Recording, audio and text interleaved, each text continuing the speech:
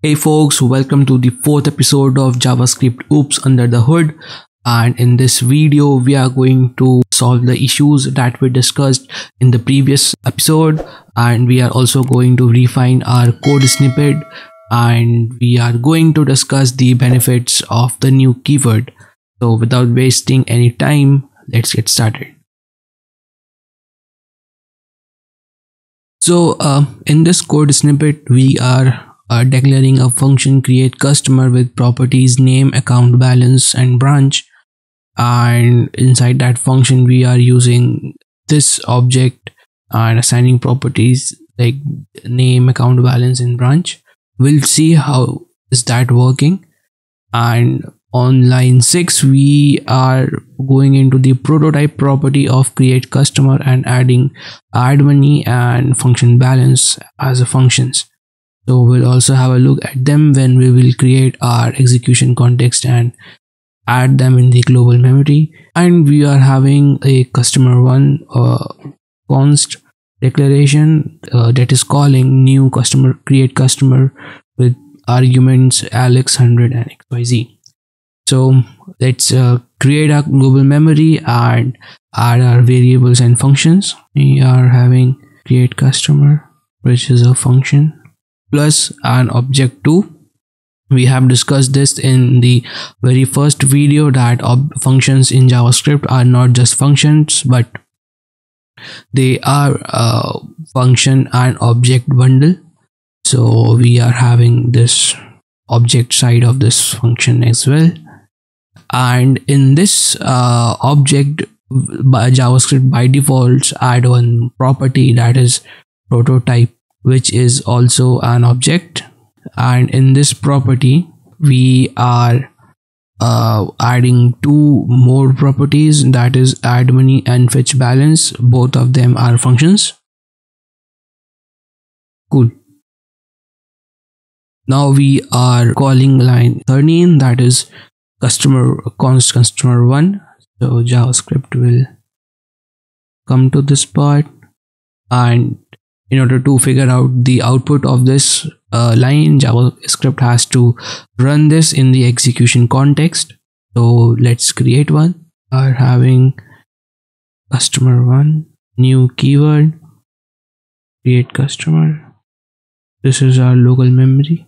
And in, when a function call happens first thing we do is we uh, assign the arguments to the uh, parameters so we are assigning name the value alex we are assigning account balance as 100 and branch as xyz this is the first thing that happens. So uh, when we uh, execute this new keyword this new keyword automates some uh, bunch of functionalities for us.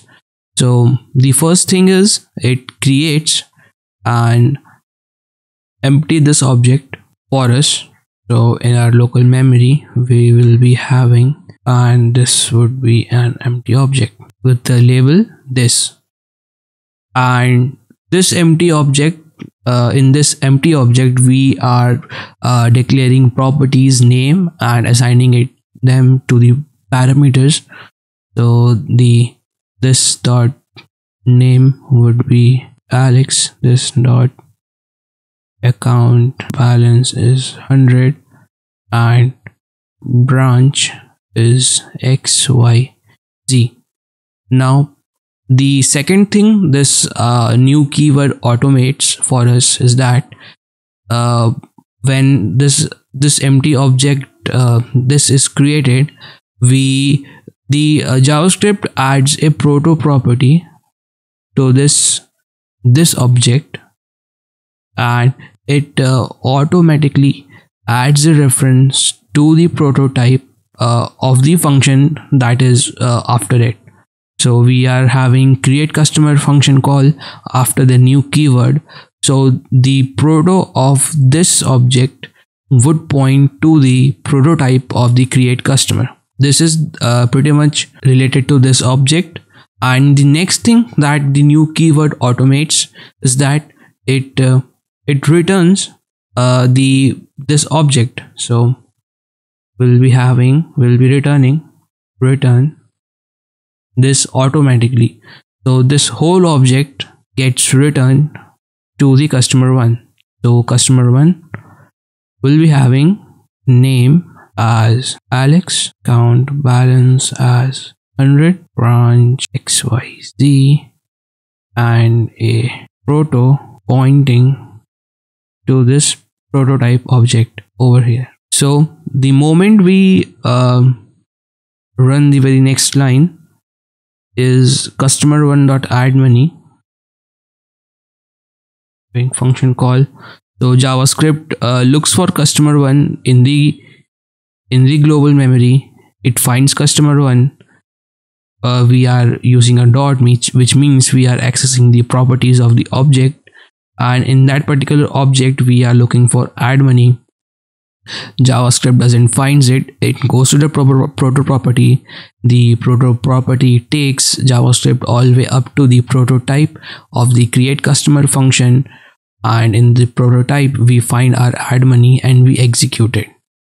So uh, when javascript executes the add money the code is to this dot uh, account balance plus plus.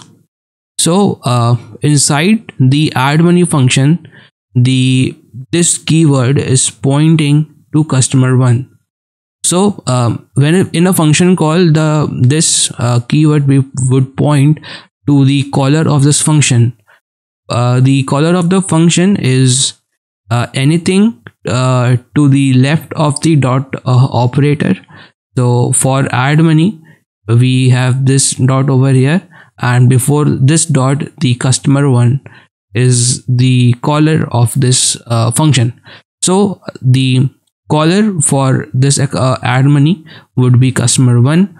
So this dot account balance is similar to doing customer one dot account balance plus plus which means we are doing 100 plus plus which output would be 101 so the customer one uh, 100 changes to 101 and in the next line we are doing uh, fetch balance. So this is pretty much i think uh, similar to what add one is doing. Uh, custom uh, customer one dot fetch balance means we are calling fetch balance uh, in this prototype of create customer. And in that the this will again point to the customer one and it will log the uh, account balance there which is 101 so this dot account balance is similar to doing customer one dot account balance. This is the thing. This dot account balance is similar to doing customer one dot account balance. So yeah uh, this was pretty much stuff uh, for us.